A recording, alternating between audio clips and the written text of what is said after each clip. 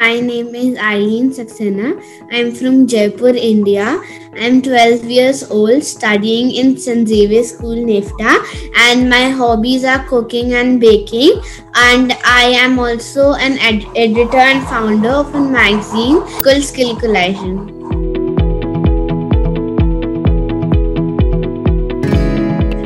I want to be a bakery chef in Carlos, but if it doesn't work, then I'm gonna continue with my magazine.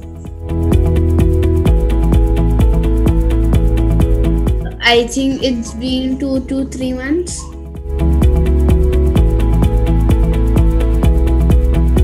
Uh, they're very much different from the school, school teachers because most of my school teachers are kind of you know strict and everything. Also meanwhile these teachers are very calm and going great with me and they even help me solve problems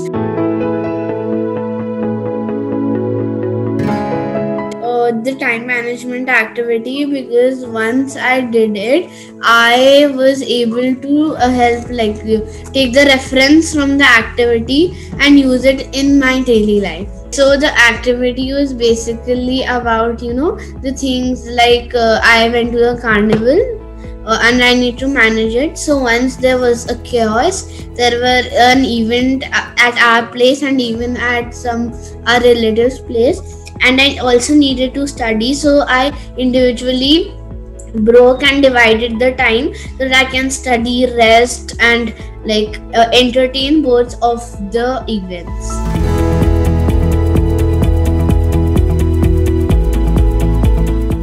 Have learned many things like confidence and communication skills, and I also learned uh, different things like imaginations. And sometimes, when we used to play the quiz game, I got to know some uh, weird facts that I didn't even know. It's fun, uh, it's interesting, and uh, it's creative. It helped me a lot and i think it would help you also if you have a low confidence or anything like that